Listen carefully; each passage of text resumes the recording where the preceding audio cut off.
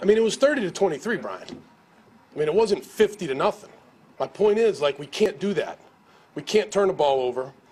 We can't field a kick, bobble the kick. We can't give up shot plays.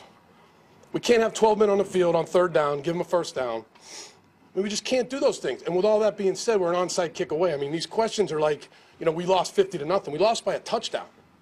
With all that stuff that we did, we have to improve it. We got to coach it better, and we got to play better. I mean, it was 30 to 23, Brian. I mean, it wasn't 50 to nothing. My point is, like, we can't do that. We can't turn the ball over. We can't field a kick, bobble the kick. We can't give up shot plays.